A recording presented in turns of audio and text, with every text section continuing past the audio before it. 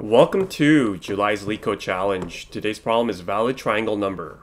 Given an integer array nums, return the number of triplets chosen from the array that can make triangles if we take them as side lengths of a triangle. Here with 2, 2, 3, 4, we're going to output 3 because we have uh, three combinations of 2, 3, 4, 2, 3, 4 again, two, this, this 2 that is, and also 2, 2, 3. So what's the condition here that we'd have to figure out to see if a triangle is possible? So imagine that we had three lines, um, one with a length of 2, one with a length of 3, and one with a length of 5. Now if we want to form a triangle here, you can imagine, let's just say we moved this middle line down to here, right? And if we did that, we can see that we wouldn't be able to form a triangle, right? So these two are a combination of two lines. Like, there has to be some angle here for us to form a triangle, right? If we want to bend that in like this and form this triangle, these can't be equal because if this third length here is smaller than this i plus j, then a triangle isn't possible. One of the conditions that we can see is uh, this right here has to be greater in length than our than our largest line.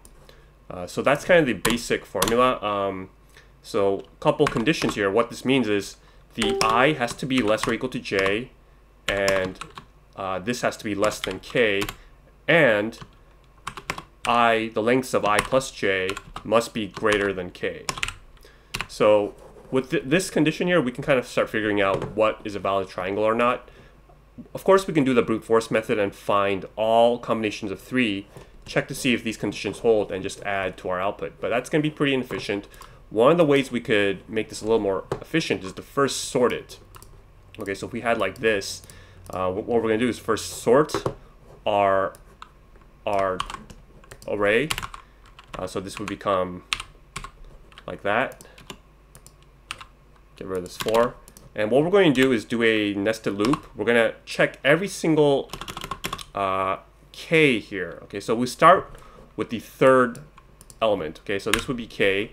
And we have to do that because we need an i and j somewhere. So at the very minimum, i and j has to be right here, right? And we know that i and j are less than k, or less or equal to k anyway. Um, so now all we have to do is, uh, for every k, we'll, we'll have a two-pointer solution. We'll point 1, you know, right at this point, at the very first index, that's going to be our i, and have our second pointer here with the j right before the k here.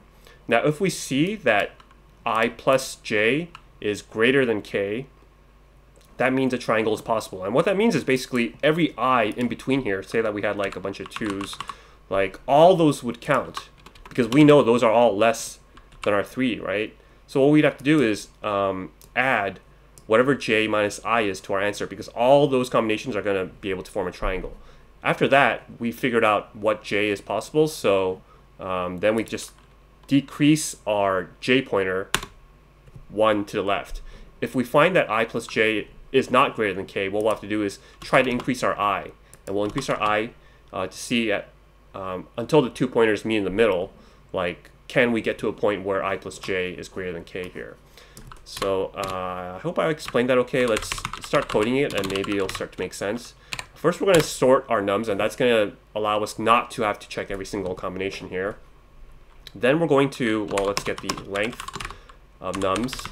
We're going to check for every k, right? So k in range of 2 to n. Now, we're going to have a two-pointer here. Um, we're going to have i and j so i is going to equal to the very beginning of our index, and j is just going to be k minus 1. So while i is less than j, what do we want to do? We'll set our answer here, our output. So let's check to see if i plus j is greater than k. So if nums i plus nums j is greater than nums k, uh, then we're going to add to our output the everything, the entire length of this array. So j minus, uh, I believe j minus i, like that. Yes. Uh, after that, we know that this j would count everything inside, so let's decrease our j and check to see the other ones as well. Otherwise, we're going to just increase our i all the way up to the point that it's no longer uh, less than j. Um, but we're not going to add anything here because we know if it's less than the length of k, then this triangle is impossible, right? So after that, we just return our output. So let's see if this works. Okay. And accepted. So time complexity is going to be, let's see, n log n here for the sort. And here it's going to be uh, n for every k as well as n for this two-pointer solution. So that's going to be n squared. So in total, it's going to be an n, n squared. Uh, if you want to get real technical, you can say n squared plus n log n. Uh, but I don't think we use any extra space, so so that's nice. All right, well, that's it. Thanks for watching my channel. Remember, do not trust me. I know nothing.